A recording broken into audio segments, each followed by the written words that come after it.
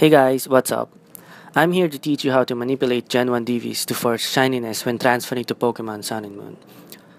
Pokebank was just released and the miners already figured out how the bank determines shininess.